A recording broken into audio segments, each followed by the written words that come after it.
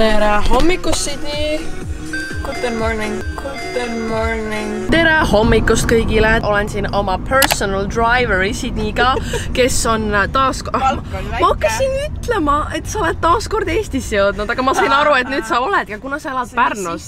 ja, aga kuna sa oled Pärnus, siis see on ikka nagu sa tuleksid kuskilt kaugemalt, ühesõnaga Sydney on Tallinnasse minu juurde jõudnud ja me läheme, sõidame hetkel Victoria juurde, et ta peale võtta, sest meil on mini U-Chickide reunion selline nagu omavoliline meie enda kanalitesse.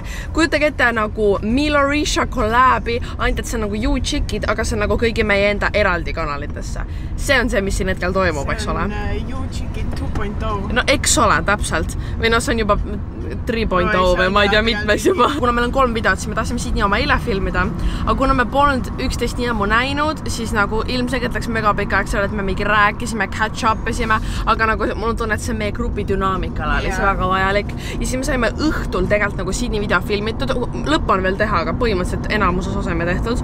lõpetasime mingi kell kümme, aga see oli kuidagi üllatavalt mega nagu chill, sihuke rahulik minu juures, mingi oli vahepeal õues, vahepeal toas, kõik oli sihuke väga chill.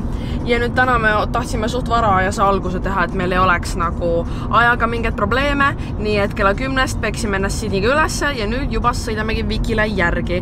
meil vist on enne seda vaja veel paar peatust teha, kui me saame päris minukale minna filmima hakata. mul on tunne, et täna tuleb sihuke, mul on sihuke hea energia, sest eile ma olin nagu meeletult väsinud ja siis täna öösel magasin ennast hullult välja. nüüd mul on nagu new energy, et meie filmimispäeva alustada ja mul on sisetunne ütleb, et läheb suurepäraselt. eks ole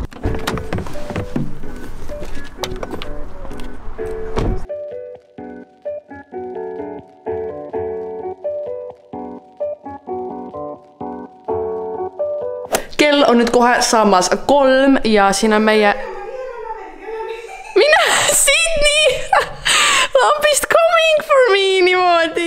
Meie setup Viki äh, videost just, äh, millega lõpetasime ja nüüd on siis graafikus hetkel Sydney video lõpetamine ja peale seda minu video filmimine, mis on tehniliselt kõige keerulisem. ma küll ütlesin, et see on siuke traditional Milla Risha collab, aga kuna meie graafikud upload imisel on nii erinevad, siis me paneme ühenädalaste vahedega, et kui teie seda vaatate, siis järgmine nädal tuleb minu oma, peale seda tuleb Sydney sinu oma, eks ja siis tuleb Victoria oma kolmandal nädalal, et saate nagu kolm nädalat järjest seda kolläbi nautida. kas tahad Viki kommenteerida, kuidas su video filmimine läks? seda oli täiega lõbus filmida, aga ma arvan, praegu oli see, et ma olin ise nii siin nagu mullis sees, ehk ma ei tea, kuidas see nagu kõrvaltvaates oli, ehk äh, kui monteerija mulle selle ülevaatuseks saadab, siis ma saan nagu paremini selle üldmuljet, mis see nagu vibe on, sest praegu ja no see, ütleme, et see oli väga juicy, väga lõbus. ma ei ole kindel, kas ma ütlesin natuke liiga palju või mitte, aga eks näis. minu meelest oli väga nice, mul nagu mega lõbus oli filmida ja mida ma ütlesin ka eile, oli see, et meil on nii nagu kuidagi chill on, meil ei ole seda pressure'it, et oo oh,, meil on mingi hullult kiire või et aa, hullult peaks nüüd kõik tehtud saama ja nii, seepärast on täiega nagu fun olnud praegu, see on nagu poolenisti mingi sihuke häng, aga samal ajal nagu teeme reaalselt videoid ka, mis on nagu ülikasulik. nii vaba, kuna vaata meil ei ole nii-öelda nagu mingeid kaameramehi või nii-öelda tiimi, et seal olemegi reaalselt ainult meie. jaa, sest no muidu on nagu see, et kui Bright meil muidu aitas filmida, niin see oli alati see, et nagu oli üks inimene veel, kelle ajaga arvestada, kes ei saanud nagu otseselt sellest nagu, ta ei saanud nagu mingi videot endale. nii et see ongi see, et praegu me oleme lihtsalt kolmekesi teinud ja mega chill on, vahepeal mingi, teeme Carlosele pai, joome smuutit, chill ime, varsti tuleb lõuna ja täiega tore on olnud hetkel, aga jaa, see upload imise asi tuli meil seal Blendris teemaks, sellepärast et Victoria on meil nii räige working queen ja tal on oma suvegraafiku pärast mingi kümme videot ette filmitud, siis olen nagu tema kõrval mina, kes filmib nagu üks nädal ette oma videoid tavaliselt, aga mul on hea meel, et me saime selle workout ida ja võib-olla teil ongi siis põnevam, et te saate nagu pikema aja peale meie kolläbe nautida. teeme veits Carlos Cammi.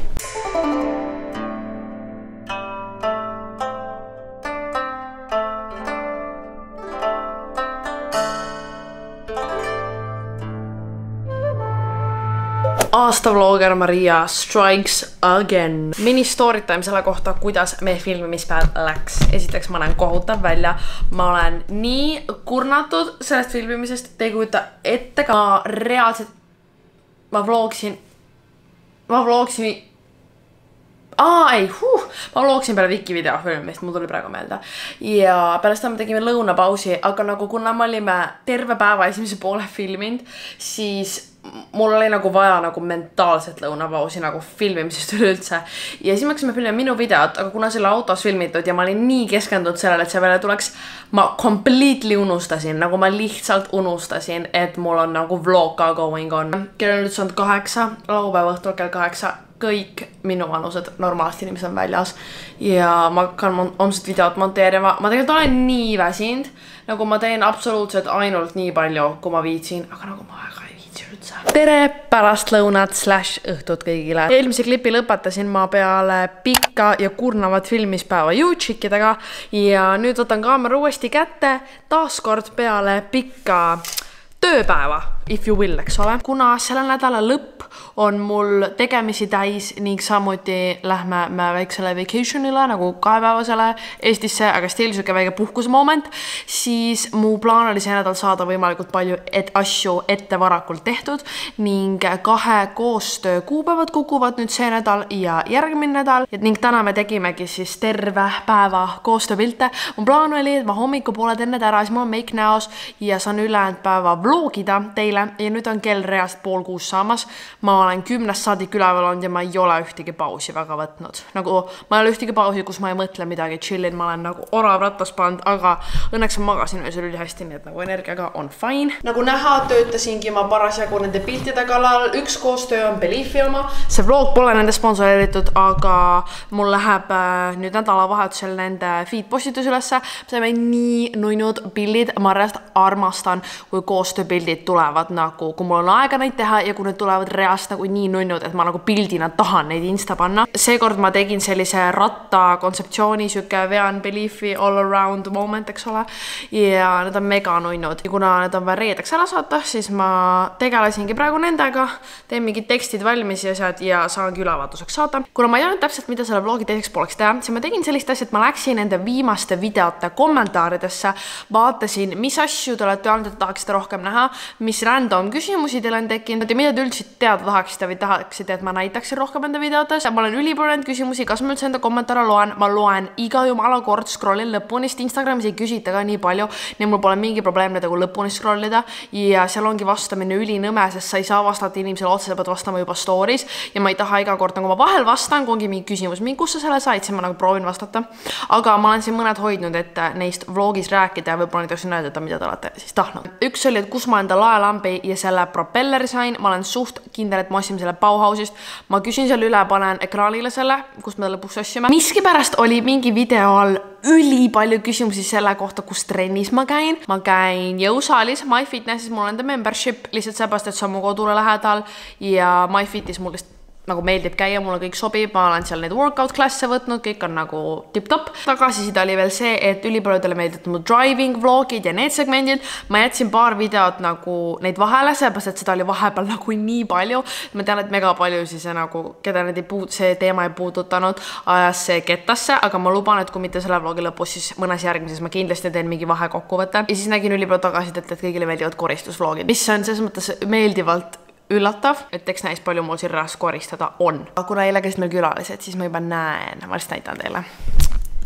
ma juba näen siit, kui sassis meie köök on, seal on nagu sassis, sassis, aga siin on nõusi, mida ära viia. ma tean, et see nagu megapaljudel nii, et kui sa oled ainsana kodus, ainsana nii-öelda nagu vanematest lastest või nagu lapsena üksinda kodus, siis järsku sul on tahe nagu kõiki neid produktiivseid asju teha, mida sa muidu ei viitsi. nii et äh, alustame minu mini household äh, koristustega. see on hea asi, mida ma kodus töötades olen teinud nagu eriti suvel.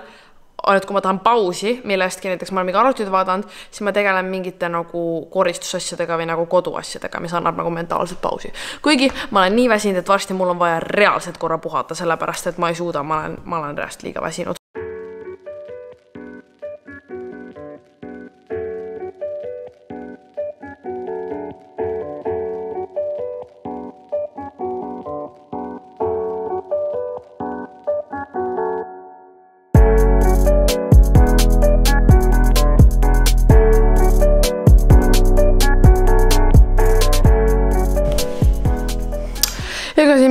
Palju teistsugusem välja ei näe, nõud on pandud, siit panin mingid kann veel kuivab. see on see, millega ma pole veel tegelenud, need nõud tuleks tegelikult õue viia, onju. ja ma teen nagu nüüd tegelen selle poolega siin ka korraks, koristan selle osa ära ja tulen teie juurde kohe tagasi, sest neid õue viia on mul kind of pain in the ass, eks ole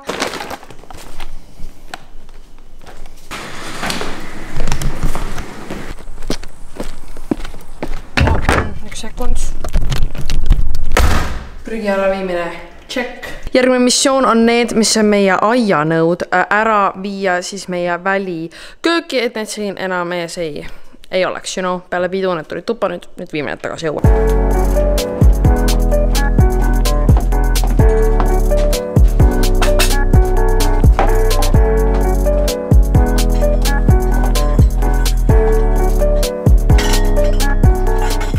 tõin just meie need nõud ära, mis peaksid kõik siia käima.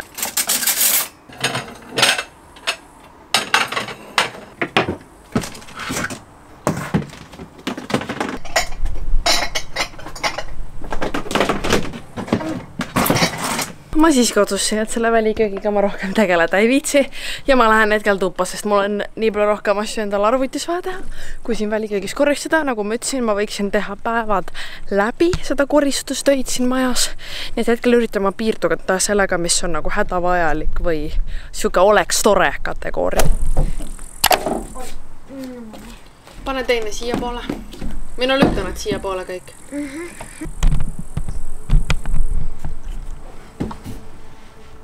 Okei okay,, nii. mina ja Oskar mõtlesime teha väikese segmendi siia vlog. ma lasin küsida teil küsimusi spetsiaalselt, kas meile mõlemale või Oskarile, et need ei oleks mingid suvaküsimused. kui heaks peate enda õe-venna suhet, mille pärast äh, kõige rohkem tülitsete? mis sa arvad, Oskar, kui hea meie õe-venna suhe on? väga hea minu meelest on ka väga hea, sest meil on see, et me ei näe tegelikult nii tihti. Oskar on iga nädalavahetus enda vanaema juures ja oh, erilane mm,. räägi edasi. kui sina talle midagi edasi, tema sulle ka midagi. see on see jutt, mida ei saa mulle, näed ära, Oskar, aga mida sa kardad, sa ju ei tee talle midagi. Ühesõnaga, ma arvan ka, et meil on väga hea õe-venna suhe ja kuna meil on nii suur vanusevahega, siis me isegi väga palju ei tee. Või nagu, kui me teeme asju koos, me teeme kogu perega või vahel, kui me teemegi mingi video jaoks või nii, aga me väga palju igapäevaselt ei veeda aega koos, sest ma teen omi asju, Oskar teeb omi asju ja kui me näeme, siis on kõik väga hästi, nii et me isegi, me isegi pole vist tülitsenud kunagi millegi üle. erilane tuleb jälle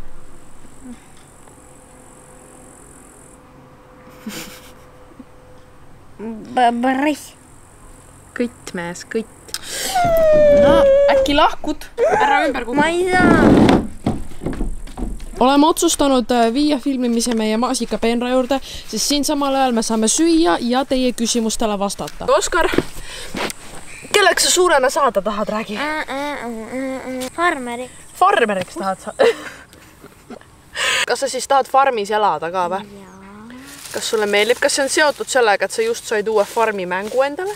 ei. ei, kindlasti mitte. kus sulle meeldis rohkem elada, kas korteris või majas, majas.? sest kui me elasime korteris, siis me elasime nagu erinevates korterites Oskariga, nüüd me elame samas, nii et kummas, aga majas. miks?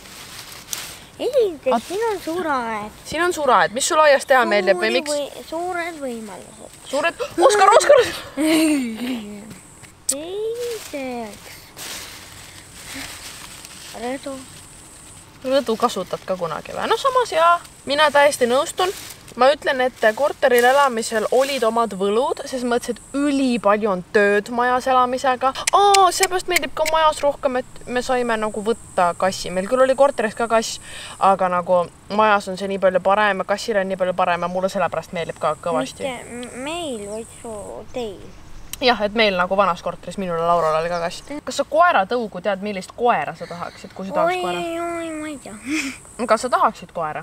Oskar tegelikult väga tahaks koera. suurt väikest koera, pikakarvalist, lühikarvalist, kikiskõrvade, lontuskõrvadega. kikiskõrvad mulle ei meeldi, nad on kassi moodi. okei okay,, kassi moodi, õige. mulle meeldivad pikakarvalised. pikakarvalised. suured suured. mitte sellised. mitte pisikesed, jah. nii. et temaga võib mängida. sa tahaks, et ta oleks ainult õuekoer või õue ja toakoer mõlemad. mõlemad, okei okay.. kui vana Oskar on, mis ja mis klassi ta läheb ja kuidas sulle meeldib koolis käia? kaheksa-aastane ja äh, teise klassi. Läheb teise klassi. meeldinud, meeldinud aga vähem ikkagi kui koduõpe. aa, et sulle meeldis ikkagi kodus õppida rohkem? tahad? sulle meeldis kodus õppida rohkem või? aga oskad sa öelda, miks? polnud nii palav kodus koolis on palav või? koolis oli või täitsa külm või täitsa palav. aa, okei okay., see on, see on hea point, sul on kas täiesti palav või sa reaalselt külmud. võib valida, mis järjekorras sa teed, õpid. Paindlikum õppemeetod nii-öelda või noh, paindlikumad viisid, kuidas õppida. oli midagi veel, miks sulle kodus rohkem meeldis õppida või? kergem, polnud mingit lärmi kogu aeg. kergem keskenduda, no jah, see on tegelikult väga head pointid. aa, mis on meie lemmik peretraditsioon ja miks? kas meil on üldse palju peretraditsioone või? ei ole üldse. Pole ühtegi. aiapeod on suvel meeldinud, mis on suht traditsioon onju. mulle meeldisid väga jõulud ka uues kodus. mis sa arvad? nõustud? oo, siin on Oskarile küsimus. Oskar, räägi ausalt, millega su õde sinu meelest tegelenud on suvel? mis mulje sulle on jäänud, et millega ma olen suvel tegelenud? see tuleb tii. no, ma natukene juumorit ma olen ka vlooge teinud. vlooga teinud, õige, õige vastus. Haigeks jäänud, haigeks jäänud, see on ka väga õige vastus. leht, et eh, raviteed teinud. raviteed. teinud ja kõrvaharke imenud. kõrvaharki. Hea nali, hea nali, Oskar, see oli päris hea. midagi veel? jääkohvi joonud. jääkohvi joonud wow,, sa oled päris tähelepanelik, Oskar, ütlen ausalt. sinu tõuksiga sõitnud. Oskari tõuksiga sõitnud, Mhm. selle kummi täiesti katki sõitnud. mis su selle suve kõige lemmikum asi on, mis sa teinud oled? ATV-ga sõitnud. ATV, ma panen siia sisse klipi, kus Oskar käis ATV-ga sõitmas, sest see oli reaalselt nii lahe.